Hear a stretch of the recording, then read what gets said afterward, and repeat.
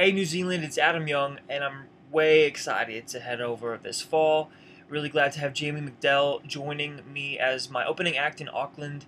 It's going to be a great show. There's still a few tickets left in the can, so check those out. Um, also, check the site for more details, and I'll see you very soon.